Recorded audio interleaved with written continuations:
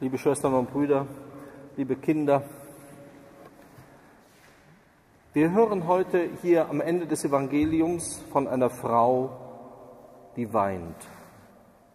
Der Evangelist Matthäus spricht von einer Urmutter Israels, von Rahel, die um die Kinder weint. Sie weint um die Kinder Israels.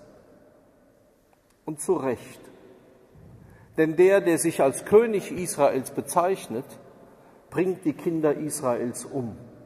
Er sorgt nicht für sie, im Gegenteil. Er, der seine Leidenschaften nicht im Griff hat, wie wir das wirklich aus der Historie sehr genau wissen. Herodes schreckte keinesfalls davor zurück, seine eigenen Kinder umzubringen, zu verurteilen, wenn sie seiner Macht gefährlich wurden. Trotz all der Verdienste, die er auch hat, er, der seine Leidenschaften nicht im Griff hat, wird statt eines Vaters, eines guten Königs, zum Mörder seiner Kinder, der Kinder Israels wie der eigenen.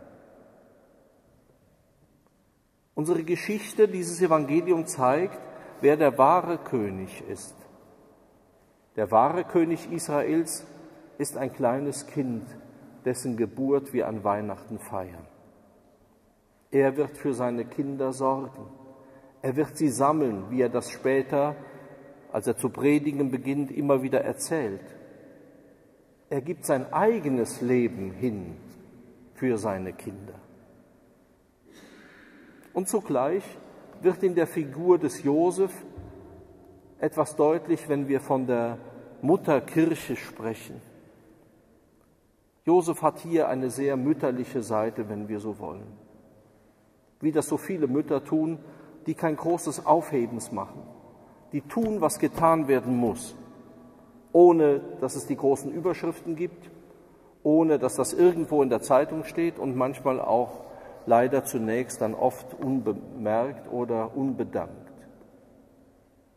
Josef folgt der Weisung Gottes. Er beschützt dieses Kind. Er bringt es in Sicherheit nach Ägypten. Und er wird es zurückbringen wenn die Zeit dafür gekommen ist.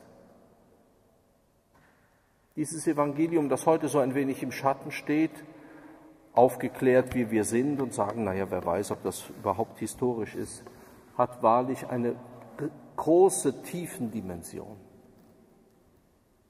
Wir erfahren etwas über das Kindsein Gottes, über die Bedrohungen in dieser Welt und über die Menschen, die seit jeher bereit sind, sich in den Dienst Gottes zu stellen, um so letztendlich Gott selber zu schützen.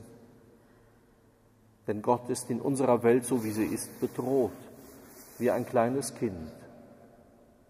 Aber solange es Menschen gibt, die sich seinem Wort anschließen, die nicht gemeinsame Sache mit den Potentaten und Mördern machen und denen, die sich als König oder sonst irgendwie bezeichnen, gibt es das Leben, entsteht Reich Gottes, wächst das Königtum Christi.